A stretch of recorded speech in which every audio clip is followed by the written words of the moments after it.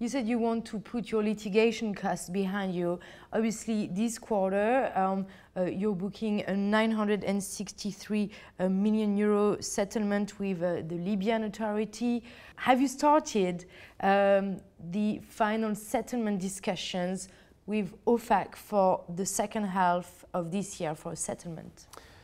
Let me just remind you, first of all, we posted in the first quarter the impact of the settlement with uh, the LIA on the net profit.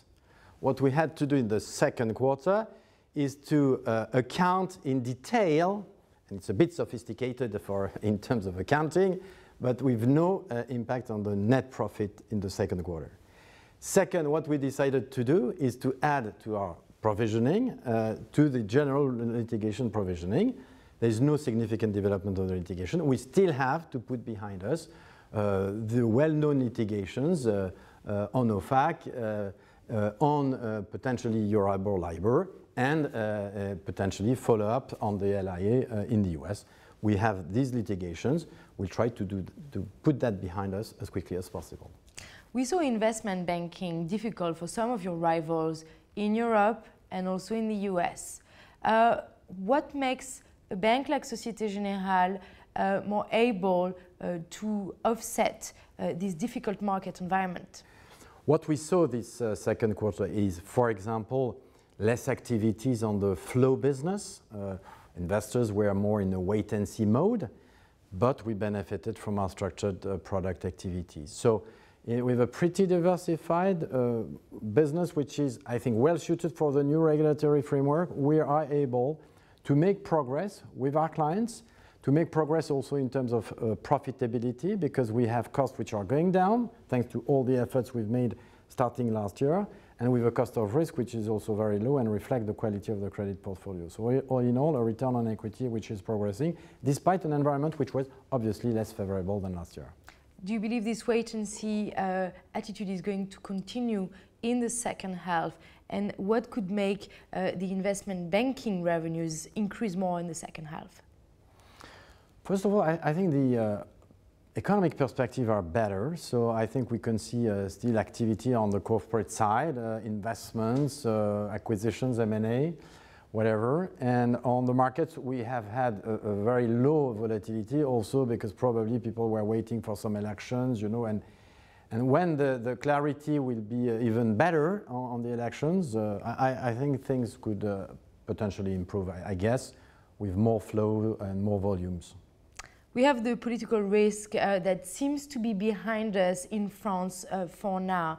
Uh, what impact have you seen on your French retail? Have you seen a pickup in activity towards the end of the second quarter, for example? Definitely, I think there's a better mood in France, a better level of confidence. And for example, we saw in the second quarter an increase of our long-term investment loans to SMEs, uh, an increase by 10%. Uh, we saw also, as you know, GDP growth figures uh, pretty solid huh, for, uh, for France as well as for Europe, actually, with a growth rate of around 2%. So I think it's definitely reflect uh, the, confidence level uh, improvement, and I, am pretty positive for the, the outlook for the next 12 to 18 months, uh, provided there are reforms, provided new steps towards building eurozone. I, think continental Europe can do pretty well.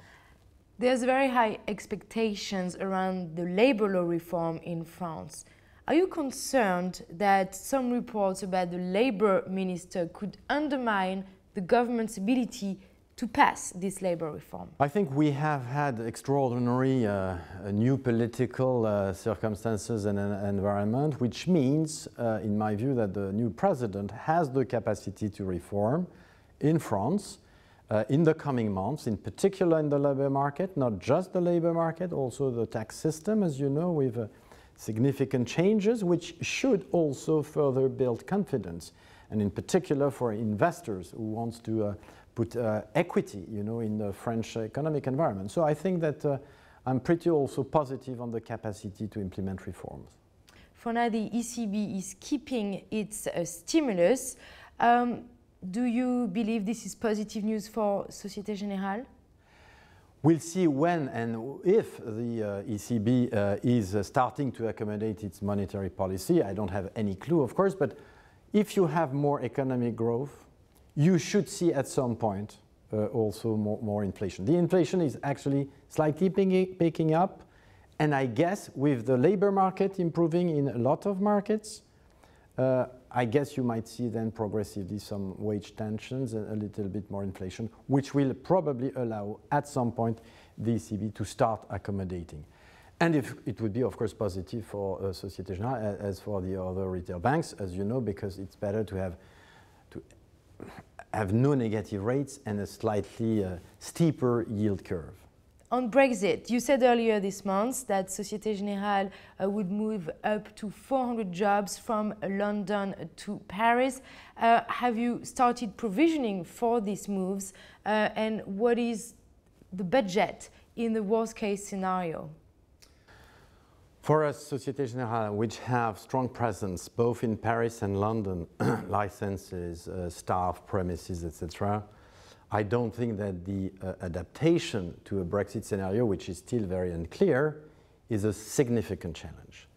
What we've said is effectively we think that between 300 and 400 people might have to move to, to Paris, and we have said we would choose Paris uh, uh, for relocating these people. I don't think it's a big uh, expense. Let's wait for the real uh, scenario. We have time.